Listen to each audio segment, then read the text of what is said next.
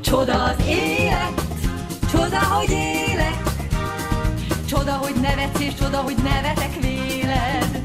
Csoda az élet, csoda, hogy élek, csoda, hogy örökkön örökké csodát remélek. Napsütéses mindennapokat kívánunk Önöknek ezúttal operes slágerek segítségével.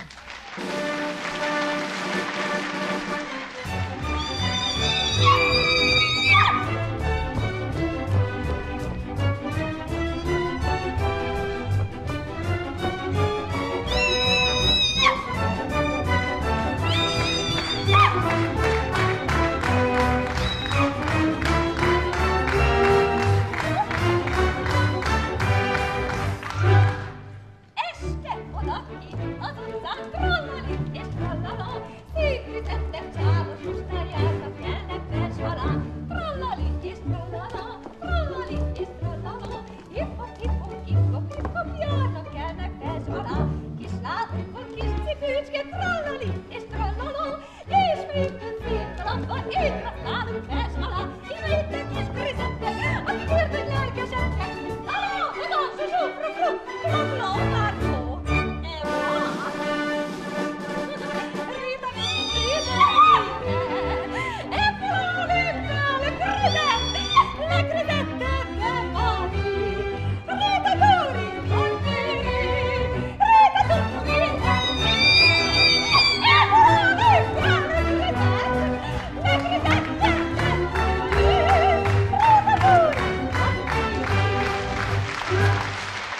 A mai vendégünk a Kálmán Imre díjas operett műfaj elkötelezett híve, Teremi Trixi színművésznő.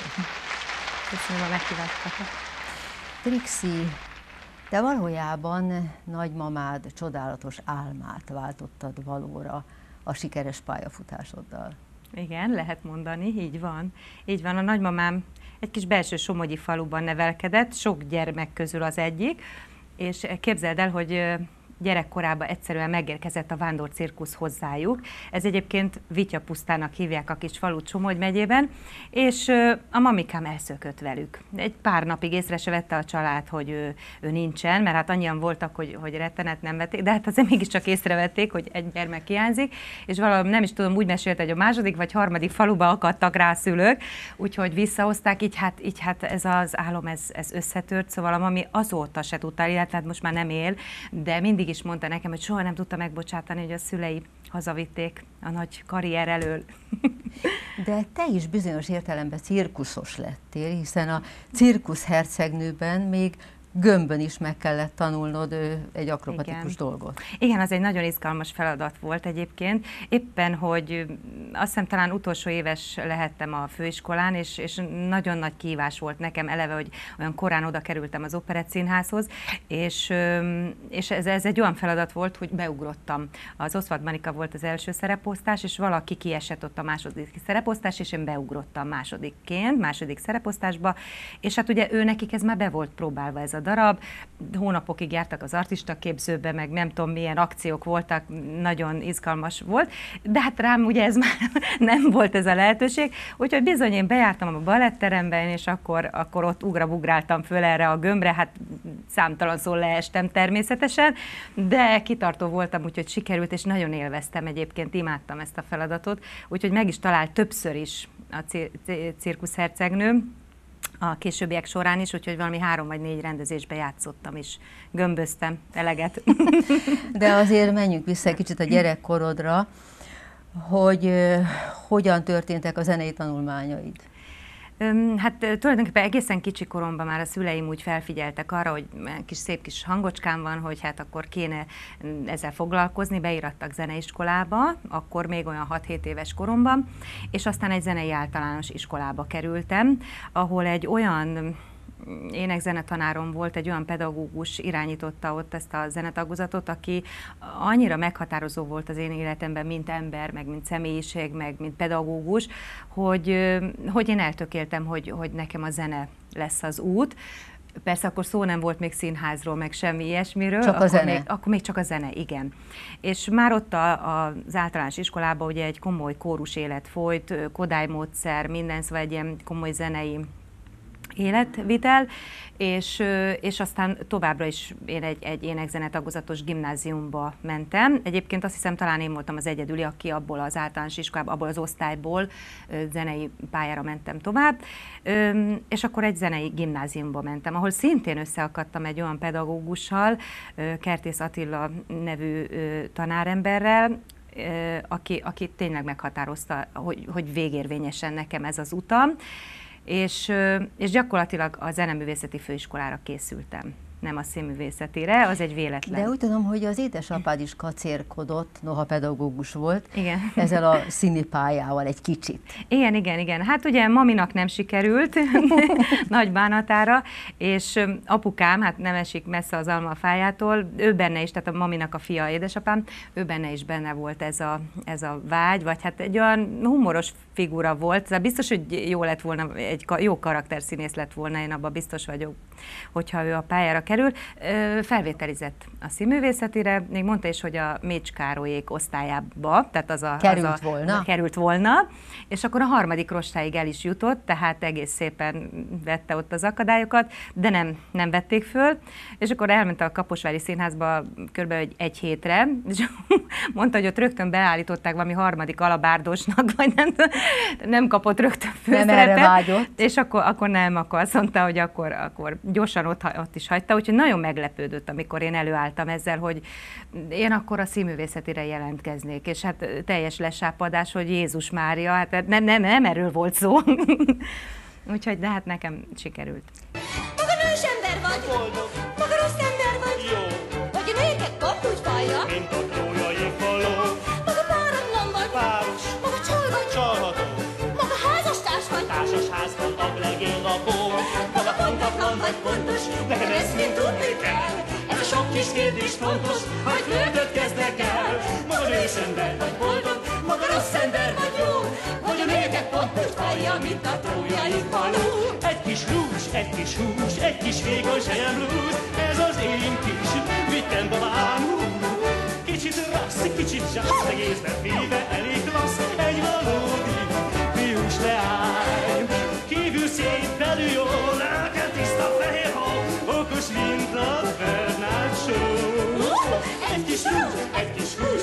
hús, egy kis vékony sejemlús, ez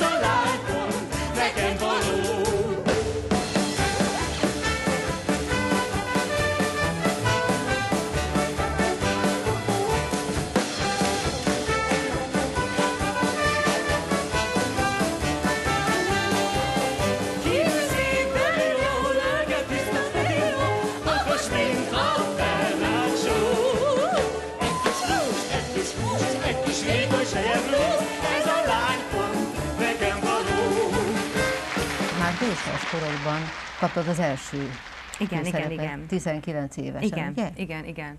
Hát gyakorlatilag másodéves voltam. A mit? A mi szerepe, igen, az egy óriási lehetőség volt nekem akkor. Ugye oda kerültem az Operett Színházhoz, akkor még ez volt a divat a főiskoláról, a színművészetéről, hogy rögtön kitettek bennünket színházhoz, és akkor én a Madách Színházba kezdtem egyébként az első évben, de aztán az első év végi vizsgát látta a Váradi Kati karnagyasszony, és akkor ő mondta, hogy menjek át az Operett Színházba, átvesznek, hát nagyon nagy örömmel fogadtam, hiszen hát én tudtam, hogy nekem oda az utam, ott a helye.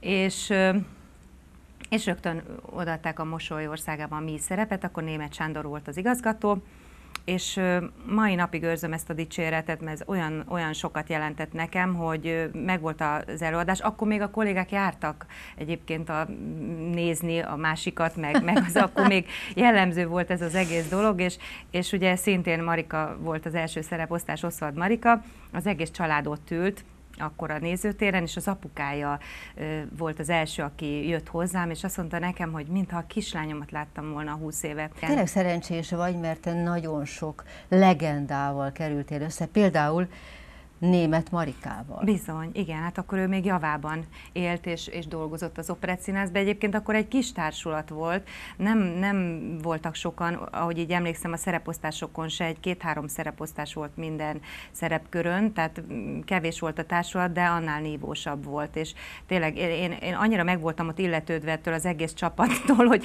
hogy, hogy egyszerűen senkit tegezni nem mertem meg semmi, hát nagyon érdekes, ha megengeded, elmondom, hogy, hogy a zsákba macska az volt nekem a mosolyországa után a, a kiugrás, és, és a német Sándor mondta, hogy menjek be a rendező úr irodájába egy meghallgatásra. Bodrogi Gyula volt a rendező, elmentem, és akkor mondtam neki, hogy mm, csókolom, mondta, hogy csókolom, ugye, tehát szóval egyszerűen senki, nem, nem mertem tegezni, hát a tisztelet is, meg mit tudom én, ő is mondta, hogy csókolom, és akkor mondta, hogy köszöni szépen, hogy befáradtam, mondta, hogy csókolom, én mondtam, hogy csókolom, és ké, e, ennyi, ennyi Ez volt, a casting. ez volt a casting. Trixit szebbnél szebb ruhákban láthatjuk, de most érdekességképpen megnézzük, hogy milyen mazatosan, rongyos ruhában kisfiúként. Feladatod van itt, egy feladatod, hogy vélünk jóba légy, hogy érezd magad itt jól. Meglásd, mi remekül meg leszünk, egy feladatod,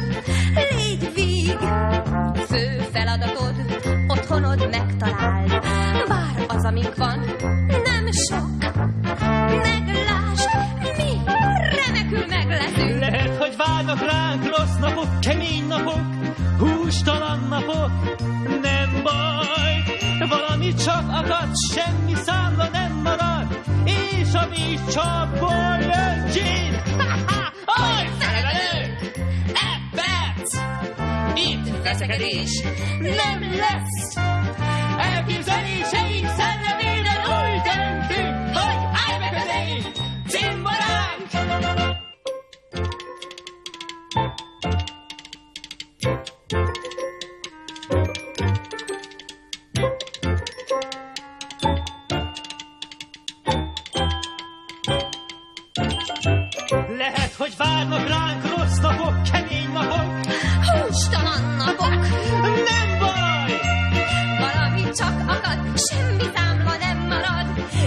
E!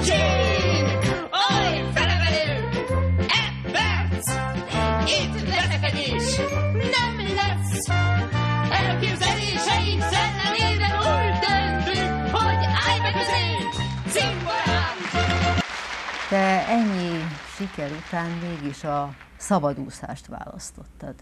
Miért?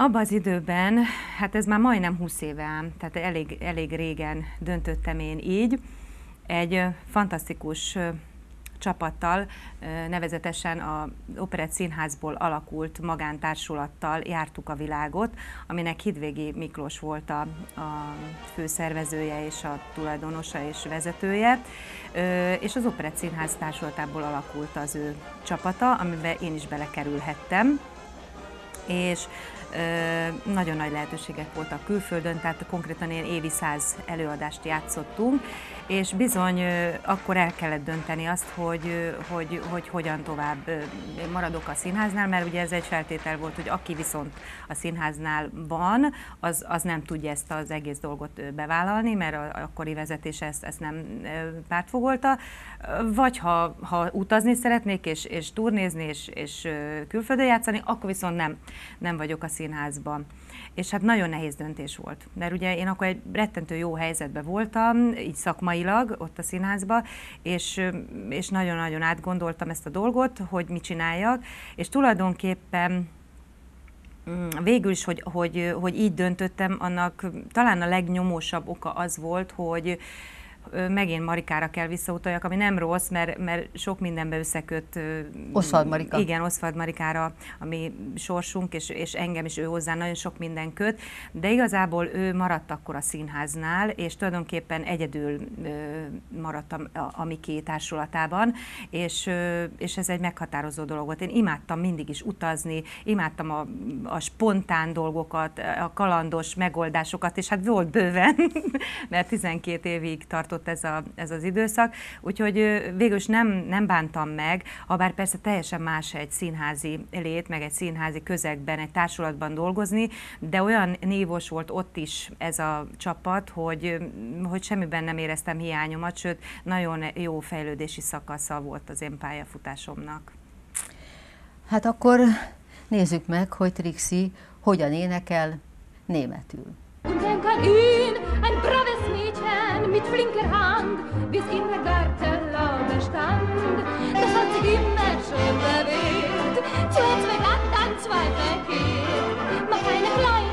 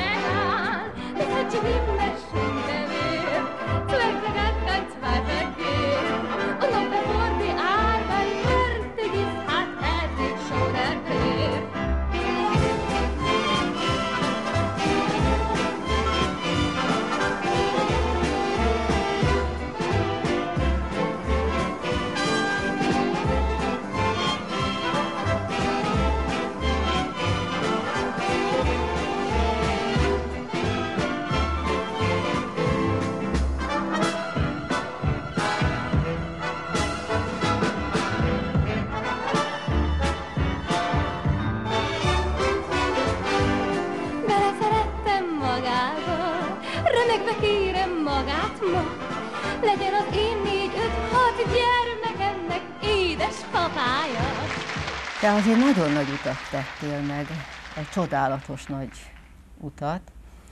Szubredből egy színház művészeti igazgatója lettél. Nevezetesen a Rátói Robert Színház művészeti igazgatója vagy. Igen. De ebben a Rátonyi Robert Színházban nagyon komoly feladat hárul Rátonyi Robert fiára, ifjú Rátonyi Robira, akit zenészként, zeneszerzőként ismerünk, szeretünk, és akit többnyire billentyűsként látunk, mint a most következő koncert részletben is. Én is így lettem, néma víztükör, mikor tőlem elmentél. Nekem többé már tête the cœur.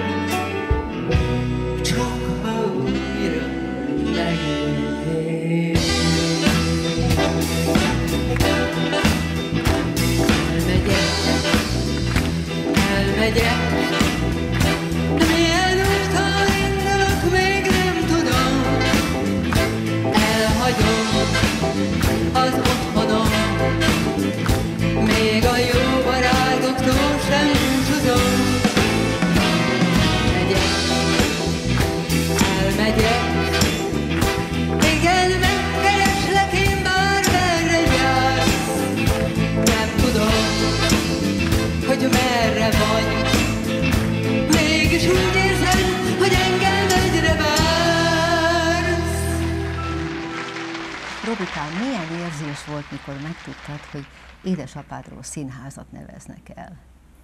Hát természetesen felemelő, meg megtisztelő, meg hát annak külön örültem, hogy a Trixi csinál ezt az egészet, mert mi már nekünk van egy kis korábbi találkozásunk, több is, de volt ez pont ez a zsákba macska egyébként, amiről itt szó volt. Együtt dolgoztatok Hát az egy különleges dolog volt, igen, mert pont a Bodrogi kitalálta, hogy rendhagyó módon ne az Operett Színház zenekara kíséri azt a produkciót, hanem az én kis hiszem kvártet vagy kvintet, egy kis zenekarom, és a színpadon gyakorlatilag talán először az operett történetében. Szegény apám ezt nem élhette meg, tehát hogy én gyakorlatilag ott a saját zenekarommal kísértem ezt a nagyon sikeres produkciót, ami nagyon jó volt, és hát tulajdonképpen ott voltunk húzamosan elég sokáig együtt. Nagyon nagy felelősség egy magánszínházat működtetni. Mind a ketten több gyermekes családapa, családanya vagytok. Mondjuk te könnyebben megoldottad, mert láttam, hogy a gyerekeiddel színpadon is fölléptetek családilag. Igen. A te gyerekeid vágynak színpadra, Robi? Hát a lányomban van egy kis affinitás, tehát ő nagyon, nagyon szerető, le- legalábbis otthon már pici, egyébként pici koruk óta van ez a bizonyos szereplési vágy, amikor fölmentünk a nagymamához, akkor állandóan van produkció volt. Tehát ez egyébként nálunk is volt nagyon érdekes, mi is, amikor fölmentünk apai ö, ö, nagyszülőköz, akkor mindig valami, valami kis produkció volt, és ez megmaradt érdekes, hogy ez főleg a lányom. És a, a te gyerekeid?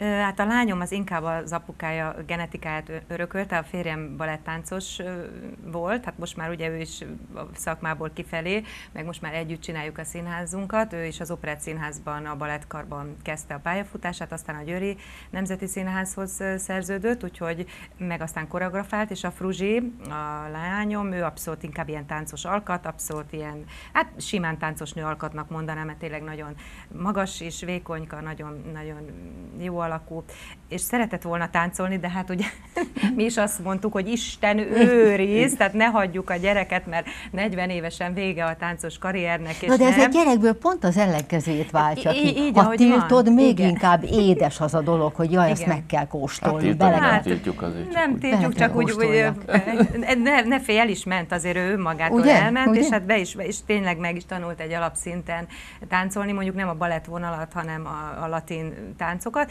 de, de nagyon ügyes, és befogjuk a családi vállalkozásba, úgyhogy jön ő is. A, fiam, a Csege, ő most tíz éves, mint a Robié is, ő, ő benne látok ilyen sz- színészi kvalitást, viszont ő még most nem szeret szerepelni, csak látom benne a, a lehetőséget.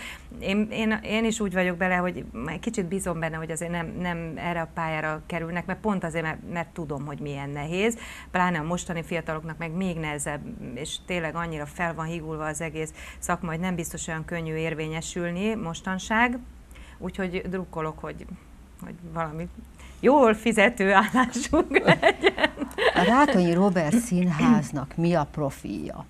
Zsirárdi, Csokonyak, de milyen, milyen darabokat fogtok játszani? Hát természetesen elsősorban operetteket, mindenképpen ez a, ez a fő profil, de meséket is, zenés meséket, most például a Pomponra készülünk ebbe az évben, és hát mindenféle szerkesztett műsorunk van, de ami a, a, a terv és a következő bemutatónk, azt szerintem kutya kötelességünk egy Rátonyi Róbert emlékestet létrehozni, és létre is fogunk, amiben a Robiék zenekara fog játszani, Hajni lesz a konferencié, és hát megnyertem egy-két olyan kiváló művész kollégát, magam se gondoltam, hogy sikerülni fog, aki még élő legenda, nevezetten Galambos Erzsi, aki nagyon sokat játszott Robi bácsival, nagyon sok személyes tapasztalata van, úgyhogy fantasztikusan örültem, hogy elvállalta ezt nekünk. Úgyhogy ő is benne lesz ebbe a ebbe az előadásba Heller Tamás, aki szintén még játszott, és nagyon jóba is volt a Robi bácsival, úgyhogy, úgyhogy hát készülünk. Robinak nem lehet könnyű, mert ugye te Gonda Jánosnál végeztél jazz tanszakon. Na most te egy egészen más zenei stílusban indultál el, koncertek, kül, külföld, belföld, hangszerelések, stb. Na most hozzád ez az operettvilág mennyire áll közel, vagy távol? Hát nagyon, hát én azért ezt intravénásan megkaptam gyerek, gyerekkor, pici gyerekkorom óta, és nekem, ez, én, én imádtam el, hát én ugye nekem végig kellett nézni az operát, az összes bemutatót, és, és én nagyon szerettem. Tehát tényleg ez nem, nem csak egy ilyen családi kötelezettség volt, hanem, hanem én nagyon élveztem meg. Hát azért az, az, egy, az egy rettenetes fénykor volt, tehát azért azt látni így élőben azokkal a művészekkel. Tehát én azt, én azt, Feleki, Honti, ugye? Hát mi, igen, és a Latabár, tehát ott, és, és ezekkel nagyon jóba voltunk, tehát itt, itt a magán, a Latabár, Honti Árpád Hanna- például a legjobb barátja volt apámnak. Honti Hanna volt a Kereszt- a keresztmamája a, kereszt- hajninak. Igen, igen.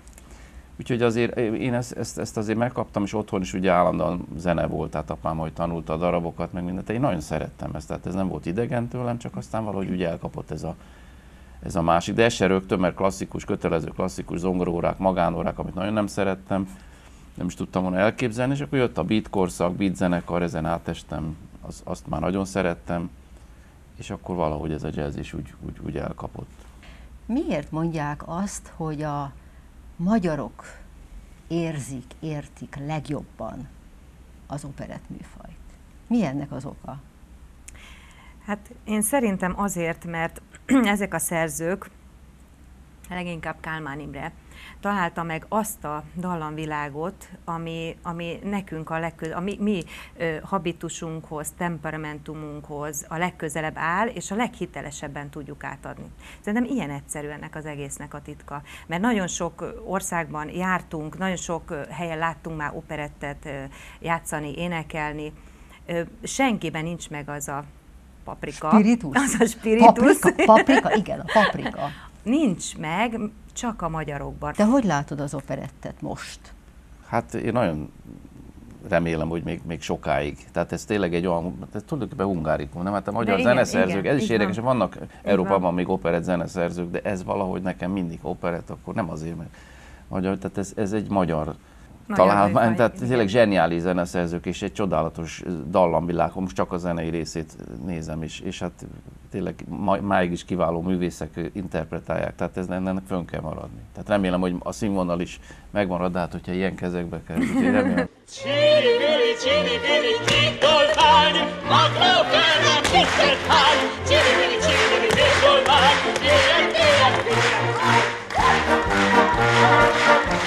Oh!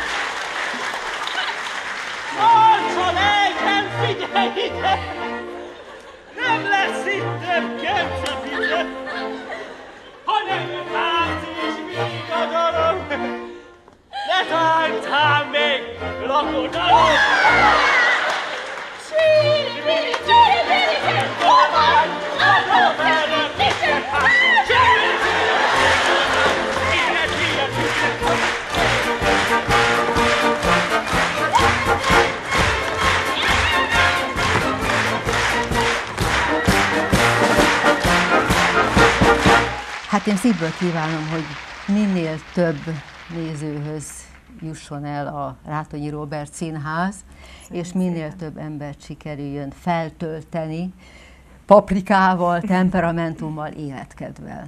Köszönjük szépen. Nagyon reméljük, hogy önöket is sikerült feltölteni paprikával, temperamentummal, életkedvel. Köszönjük, hogy velünk voltak, reméljük, hogy találkozunk a következő adásban is, addig is. Isten áldja Önöket, a viszontlátás. Csoda az élet, csoda, hogy élek, csoda, hogy nevetsz, és csoda, hogy nevetek véled. Csoda az élet, csoda, hogy élek, csoda, hogy örökkön örökké csodák